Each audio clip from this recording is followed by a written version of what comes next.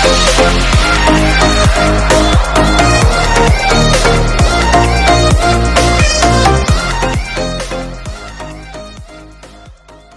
guys, I know it's been a really long time, about two months now, right?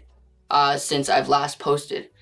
And I just, I kind of been missing YouTube and posting a lot, so I think I'm gonna get back into that.